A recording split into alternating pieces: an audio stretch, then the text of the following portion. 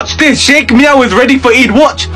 Oh my god, mashallah. Sheikh Meow is looking like a king. Look how cute that is, mashallah. Eid Mubarak to everyone for me and Sheikh Meow.